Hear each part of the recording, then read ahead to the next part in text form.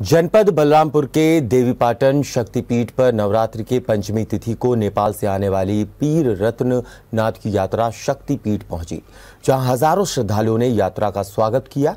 बता दें कि यात्रा नेपाल के दांग ज़िले से नवरात्रि के द्वितीय तिथि को बाबा रतन नाथ आश्रम से चलकर चतुर्थी तिथि को भारत में प्रवेश करती है।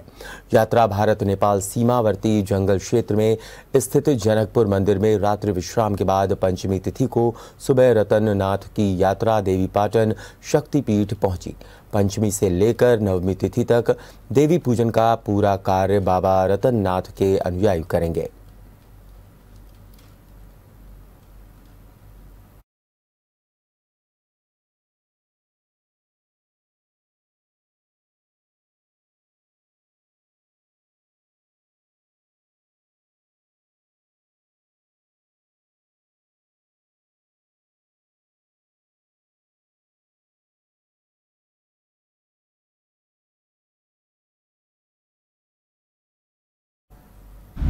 अगर आपको हमारा वीडियो पसंद आया हो तो हमें लाइक करें सब्सक्राइब करें और ज़्यादा से ज़्यादा शेयर करें। और हाँ बेल आइकॉन दबाना ना भूलें, ताकि हर खबर का अपडेट आप तक पहुँचे तुरंत। आप हमें इंस्टा ट्विटर और फेसबुक पर भी फॉलो कर सकते हैं। हमारी आईडी है at the rate news flash